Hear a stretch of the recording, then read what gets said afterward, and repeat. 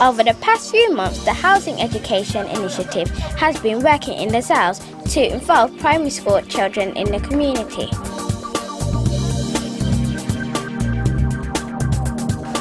What do you like? The, what do you like about the news? 48 children from schools in Lozells attended media training workshops. Kids about um, if they watch news, ask them if they watch news, they watch, and they all said yes. Good morning and welcome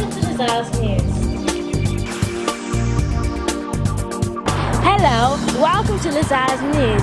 I'm Alexandra, and no, it's I'm Lexi, isn't it? Oh, children from schools around Lozells have. Oh, oh, okay, okay. Um, I forgot it. Uh, Three, two, one. oh, shit. Okay, there are many people who work hard to help us. Wow, what an interesting story. We practice using a microphone, interviewing people, script writing, and presenting skills.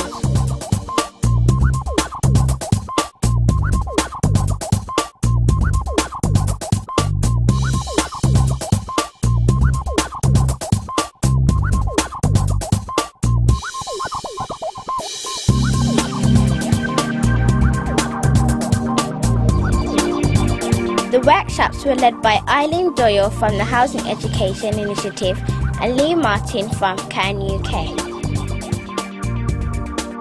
Please visit our website lozellsnews.co.uk and let us know what you think.